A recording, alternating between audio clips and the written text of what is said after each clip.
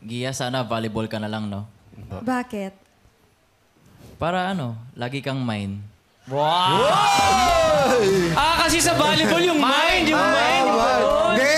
Ano, paano? Nag-ano siya online. Hindi, ibang main yun. Ibang... Pero, Dylan, hindi ba nakakailang nandito yung daddy ni... Kaya nga eh. Daddy Paolo? Hindi ka na Tapos nagmamain-main ka dyan.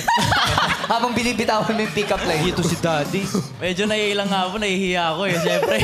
Gusto mo eh. spike ka ni Daddy? Pero dapat kasi papakilala ka muna kay Daddy Hello Paolo. po, Tito Nico. Tito! Tito lang. Tito Paulo. Hello, Tito. Vic. Enjoy. Kasama.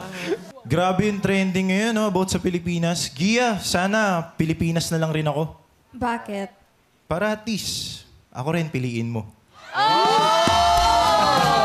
Piliin mo ang Pilipinas. Hindi pala maganda yung kanta na yun. Ganun pala yung tono nun. Nakakalito silang dalawa. Ano pick up line mo? Ah, sir, may pick-up line lang po kay Sana. Ayun, oh. Ayun ba? Uy, eh? nagpapaalam. Ah, Gian, Yes. Sana ako na lang sa sapatos mo. Bakit? Para sa bawat takbong mo sa buhay, kasama mo ako. Oh!